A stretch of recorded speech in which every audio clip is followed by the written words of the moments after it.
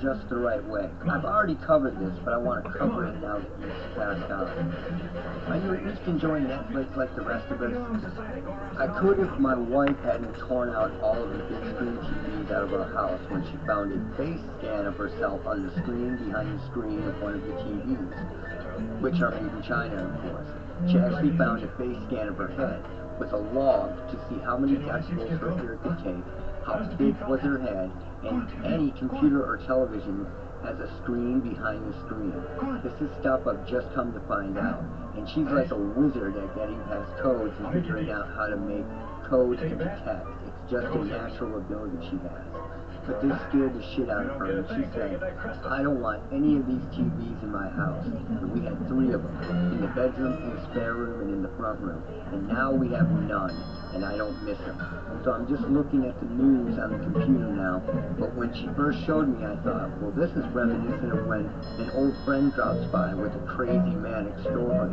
And the more he told it, the less sense it made. And a couple of days later, he's in the psych ward, that kind of thing. Then two days later, I'm in my Pro Tools, and I come across these files that say FB something something. And I go into these files and actually find out that the FB stands for Facebook. And what they are is licenses third-party licenses, and now Facebook and Google are part of Pro Tools.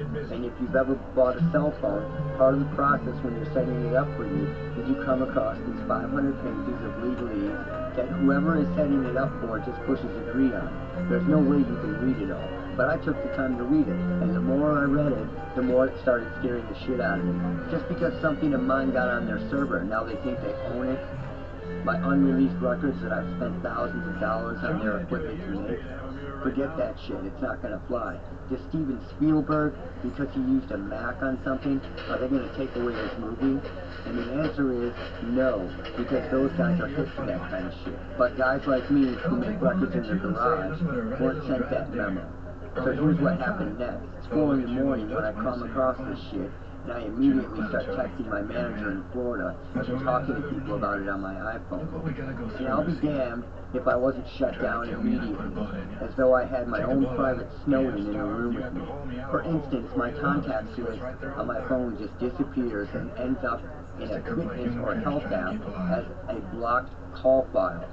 In real time this happened, and I'm starting to lose my mind. And I'm describing this to friends of mine, and they're all saying the same thing. Mark, why would anyone do this to you? And that's the same thing I ask myself. I'm a nobody, what the fuck? I was just chicken little. I had no way of proving any of it. So he goes on and on and on about this and then decides that he's going to move out of the U.S. into Ireland with his wife, right? And then he ends up dead in 2022. And I just find the whole thing suspect. It's sad, and it doesn't sit right. And I tried to explain this to Mark, and it's sad. I don't know if he ever saw it, but maybe his wife will. What your friends didn't realize and what you didn't realize at the time is what was happening wasn't somebody targeting you. That's not how this works. The reason why your phone jacked up, all of that. It's an AI system that is looking for keywords, and when these keywords are repeated over and over, and it's decided that you are talking about or spreading information that they don't want spread, it will begin to mess with you by doing exactly what it did. And it's just suspect and sad that this happened. I find it strange that right after he talked about the COVID-19 and the 5G, he came down with COVID,